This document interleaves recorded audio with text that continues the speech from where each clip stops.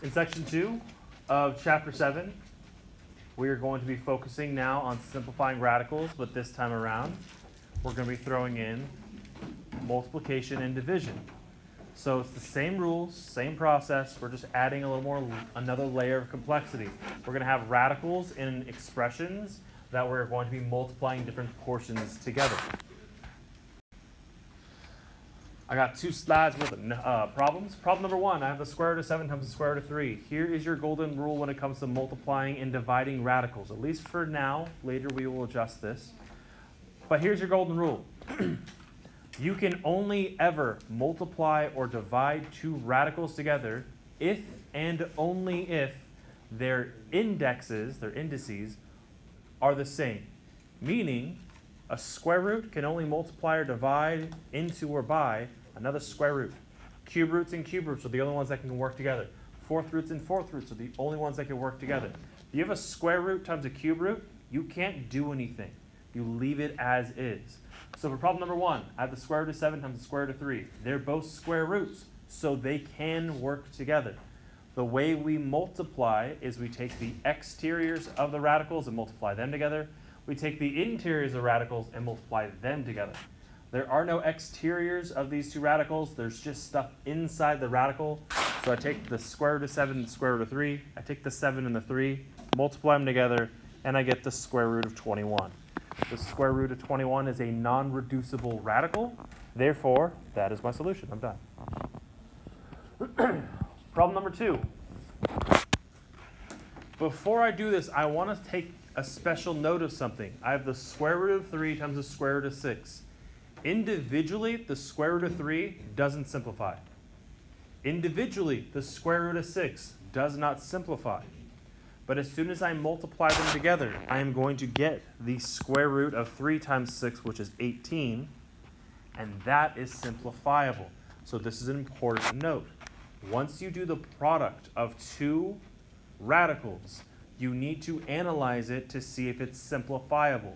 Because just because the for, uh, the step before it wasn't simplifiable does not mean the step after it won't be. The square root of 18 is the same thing as the square root of 9 times the square root of 2. Here's my way of simplifying radicals. If you're dealing with a square root, what I like to have written off to the side are all of the perfect squares. 2 times 2 is 4, 3 times 3 is 9, 4 times 4 is 16, 5 times 5 is 25, 6 and 6 make 36, 7 and 7 make 49, and so on and so forth.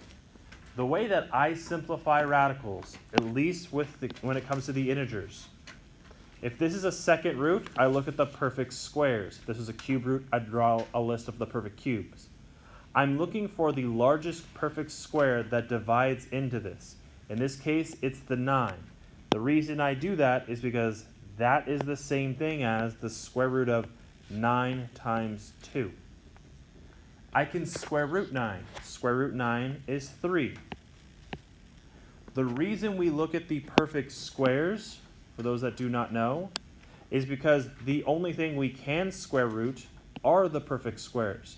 So if you have a number and you're asking yourself, can that simplify in a square root?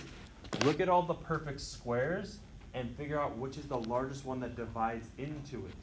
If it divides into it, you can pull it out. So my answer is 3 root 2. Problem number two, I have 2 root 5 times 3 root 3. Now I have numbers on the outside.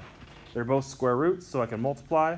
I take the outsides, the 2 and the 3, multiply them together to get 6.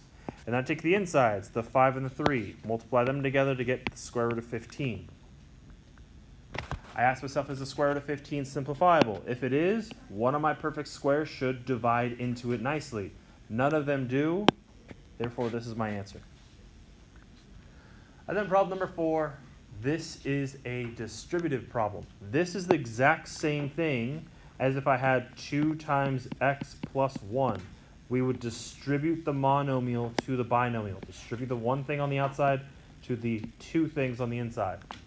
This is a monomial. This is a binomial. It's, it's uh, separated through subtraction. I'm going to take that 4 root 2 and distribute it to both terms. 4 root 2 times 3 root 6. 4 times 3 is 12.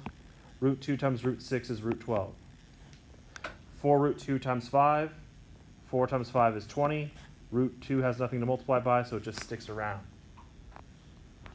The square root of 12 is reducible because 4 divides into the 12.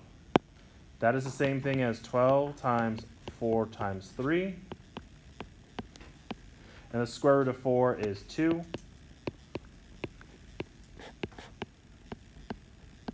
And then 12 times 2 is 24. And now all the radicals are simplified and we are done. I want to do one more problem that looks super complex but is literally the exact same thing I just got done doing. This again is a monomial times a binomial. I am going to take that crazy looking monomial and distribute to both of the binomials, both terms. So for the first one, negative 5 times, there's an invisible 1 on the front. Negative 5 times 1 is negative 5. The cube root of 4x squared times the cube root of 2x squared is the cube root of 8x squared. Minus negative 5 times 6. Negative 6 is positive 30 times the third root of 4x squared.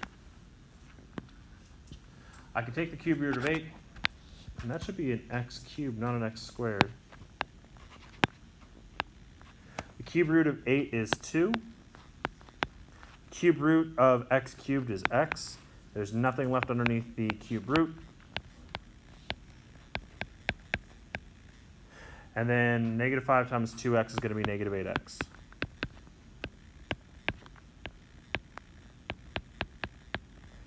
This is my solution. Problem number two. I have a cube root divided by a cube root. That is the same thing as the cube root of that written as an entire fraction. 16x to the seventh over 2x squared. 16 divided by 2 is 8. x to the seventh divided by x to the second. Well, those two x's on the bottom would eliminate with 2 of the 7 on top, leaving you with 5. The cube root of 8 is 2. The cube root of x to the fifth is x with the remainder of 2. And this is our solution.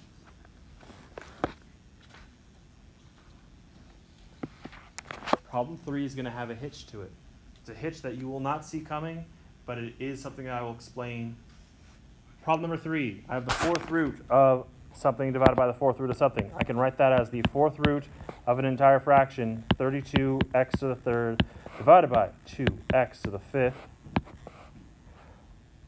That is going to be equal to 32 divided by 2 is 16.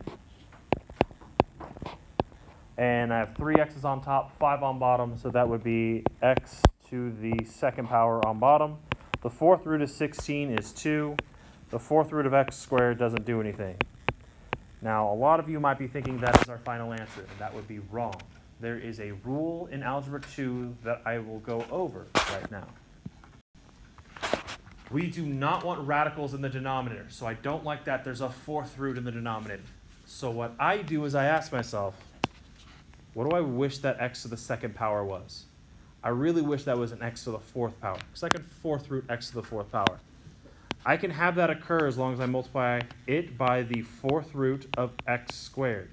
But if I do that to the bottom, I also have to do that to the top. Because when I multiply the fourth root of x squared by another fourth root of x squared, I get the fourth root of x to the fourth power, which is just x. And then the numerator will turn into 2 times the fourth root of x squared. And now I have a fraction with no radical in the denominator, I have what is called rationalize this function. I've turned it from an irrational style solution with a radical in the denominator to a rational style solution with a non-radical in the denominator. Problem number four is unique because I have a cube root, a fifth root, and a square root. None of those combine together, ever. So normally this would be our answer. You wouldn't do anything to it. The only issue is I don't like radicals in my denominator, so I've got to get rid of them. I'm going to multiply the top and bottom by the square root of x. That way I can get the square root of x squared on the bottom, which is just x.